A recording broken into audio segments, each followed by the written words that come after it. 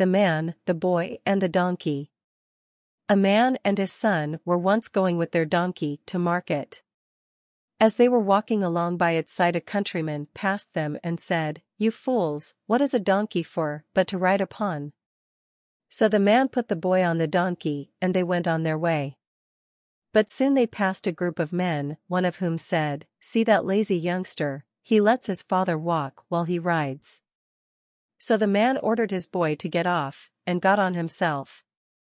But they hadn't gone far when they passed two women.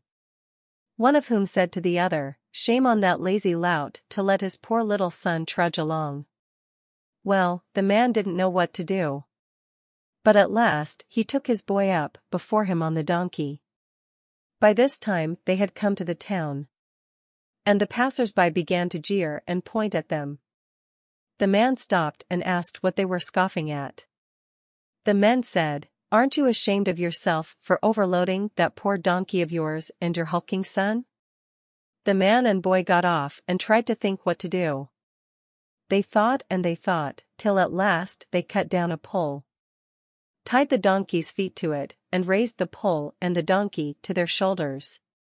They went along amid the laughter of all who met them, till they came to Market Bridge. When the donkey, getting one of his feet loose, kicked out and caused the boy to drop his end of the pole. In the struggle, the donkey fell over the bridge. And his four feet being tied together, he was drowned. That will teach you, said an old man who had followed them. Please all, and you will please none.